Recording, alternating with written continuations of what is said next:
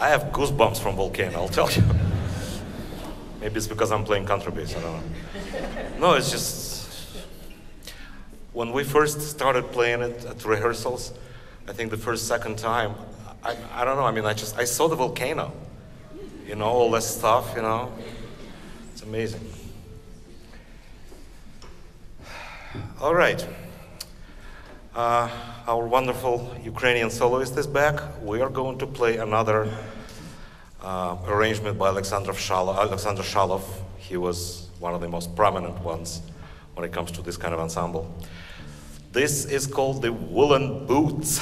If you understand Russian, I know some of you do, Valenki.